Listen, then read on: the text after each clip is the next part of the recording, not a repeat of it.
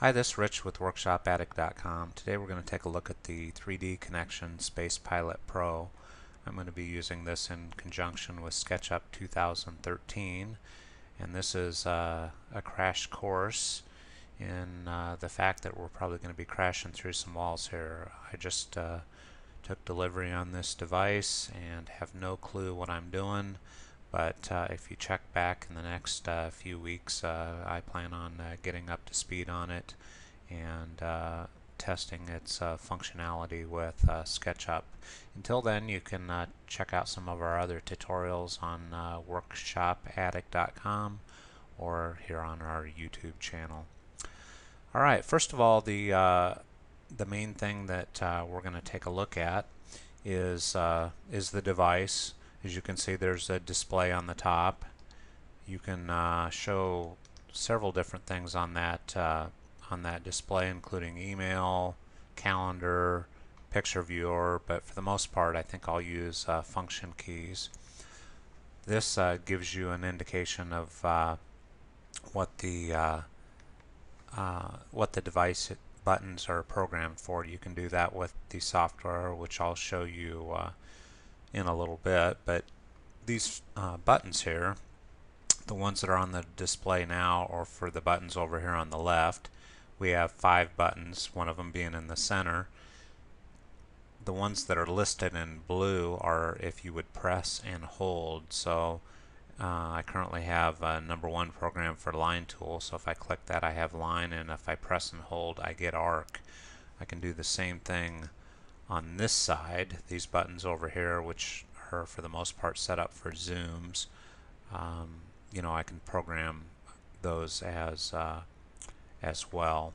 That's probably the mode that, that I'll leave it in most of the time, although if I'm doing full screen CAD work, it would be nice to uh, pull up Outlook, and if I'm waiting for an email, I can uh, uh, I can take a look there without uh, jumping over to my uh, Outlook uh, application.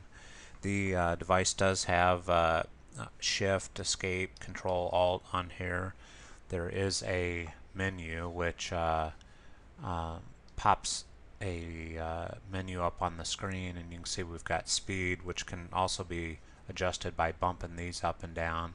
Object mode, camera mode, target camera mode, helicopter mode. There's a few settings here and basically these control how you orbit around your uh, model. I'm still in the process of trying to find out which uh, mode is going to work best for my drawing style. I mean, one of them will actually rotate the uh, the model or or your object within the model around you, like taking a cube and uh, rotating that around, and then uh, the other ones lean towards uh, kind of moving around that cube um, I'm still trying to uh, get all that figured out, and that'll be one of the first steps that I need to do before I really get serious about about uh, uh, doing any uh, any type of uh, programming on the uh, unit. So the the main part of this device, as with all other 3Dconnexion devices, is this knob here. It has six degrees of freedom and if you pull up on the knob it pans up. And if you push down it pans down. Same uh, with left right. The knob also rotates. And you can also uh, tip it. Let's get up off the floor here a little bit. And we can you know tip down and tip tip back. So the thing that I really like about this is how fluid it is. This is uh, some as-built drawings I'm doing on a house that I built. Matter of fact, it's my house uh, that I built about three years ago. I did it in AutoCAD 2D, and I'm currently redrawing it in uh, SketchUp 3D. Uh, but it, uh, as you can see, it's pretty fluid you know, and uh, I like the fact that you can easily move up and down you know, and rotate around here.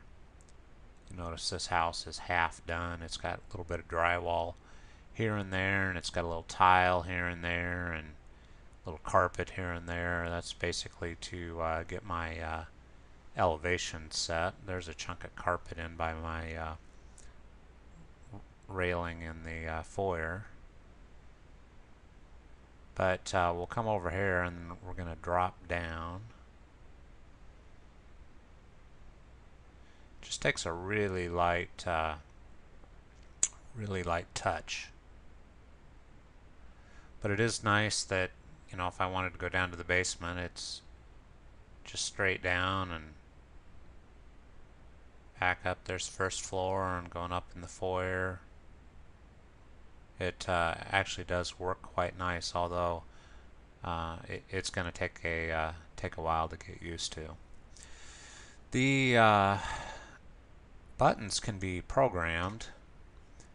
Let's back up to the first page. First of all, you can control in this uh, little applet here the uh, the speed of the device, which we can bump up and down directly on the SpacePilot Pro.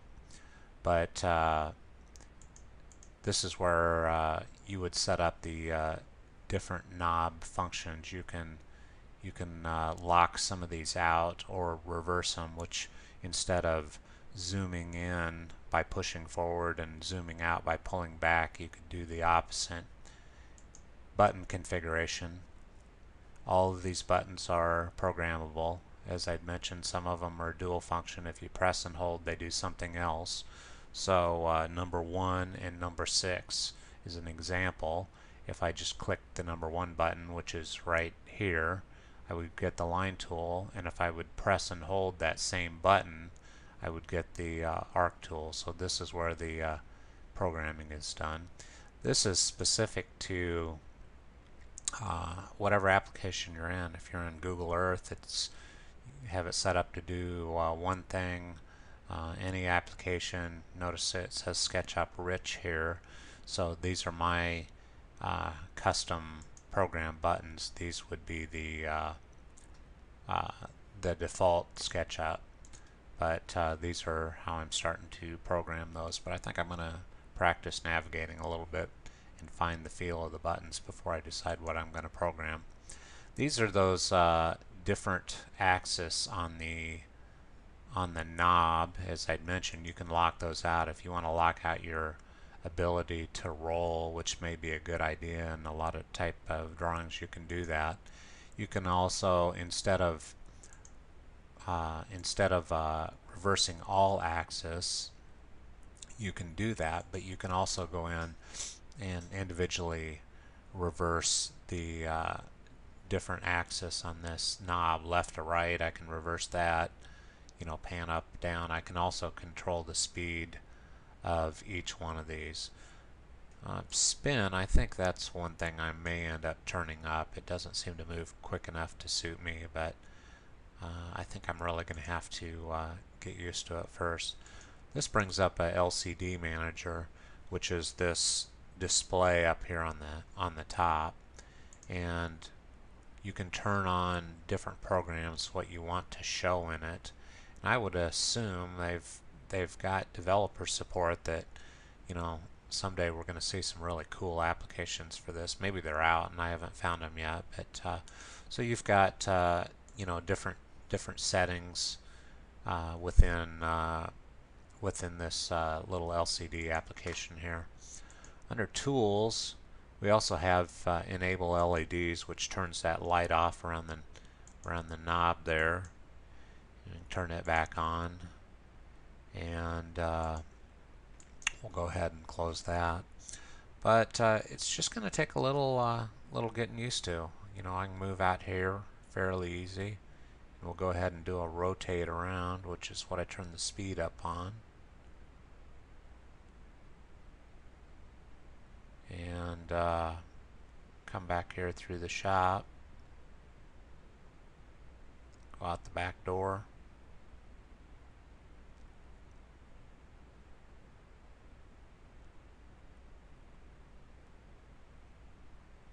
and spin around there.